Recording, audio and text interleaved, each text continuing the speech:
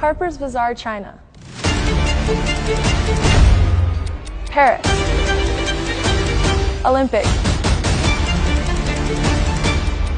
Champion.